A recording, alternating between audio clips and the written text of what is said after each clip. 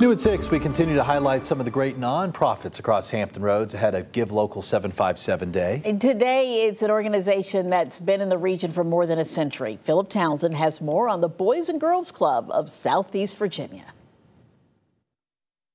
Empowering all youth and helping them reach their full potential always been the mission of the Boys and Girls Club of Southeast Virginia.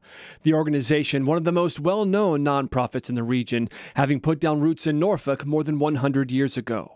Clubs across the region providing safe spaces, getting kids who may not have sufficient care at home off the streets and into programs that help them grow academically, socially, and physically. They're, you know, ready to go on to a career and not a job or are going on to post-secondary education and fulfilling their dreams and to do whatever they want to do. Just check out some of the accomplishments the Boys and Girls Club achieved in 2023.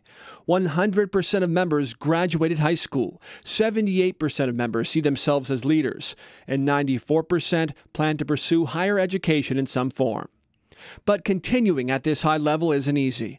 Budgets are stretched, and providing new resources for kids requires constant funding funding that helped renovate the Southside Club in Norfolk in 2022.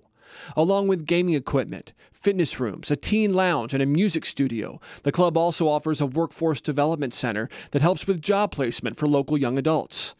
Upgrades like these at other clubs in the region will help the organization lift our youth and make all of our communities better for another 100 years.